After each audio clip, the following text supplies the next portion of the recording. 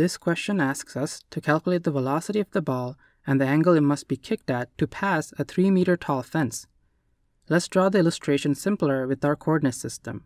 We can write down what we know. The ball starts from location x0 in the horizontal direction, which is at 0 meters. The final location in the horizontal direction is 6 meters. When I say final location, it's the location where we are trying to find the other values at. The starting location in the vertical direction, y0, is 0 meters. The final location y is 3 meters. Gravity also affects the ball, so acceleration in the vertical direction is negative 9.81 meters per second squared. Let's think about the velocity. In the horizontal direction, velocity is v cos theta, and in the vertical direction, it's v sine theta. Now it's time to write our equations. We will assume horizontal motion to the right is positive, and vertical motion upwards is positive. The first equation we will use is x equals x naught plus v naught t. Let's substitute what we know in. We can isolate this for t and then leave it aside to focus on an equation for the vertical motion. For that, we will use this equation. As before, let's substitute what we know in.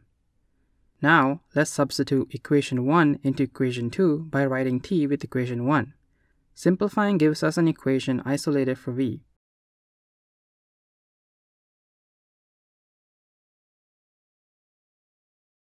This part is a bit long-winded, but you have to think about the problem a little bit. It's asking for the minimum velocity the ball needs to be kicked at. What value of theta would give us the lowest velocity value is what we need to figure out. That would mean the bottom part of our fraction must be a maximum. So how would we get that value?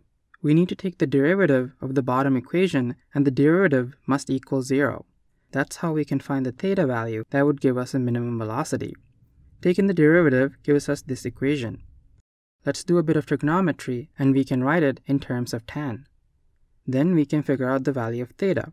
If you put this into your calculator, you'll probably get a negative value. So we need to add 180 degrees, since we only need positive values, which is still the same answer. So finally, we arrive at the angle of 58.2 degrees. Let's substitute this back into our equation and we get a velocity value of 9.7 meters per second. If there is an easier way of getting to this answer, please comment below. Thanks for watching, and if this helped you, please give a thumbs up, and good luck with your studies.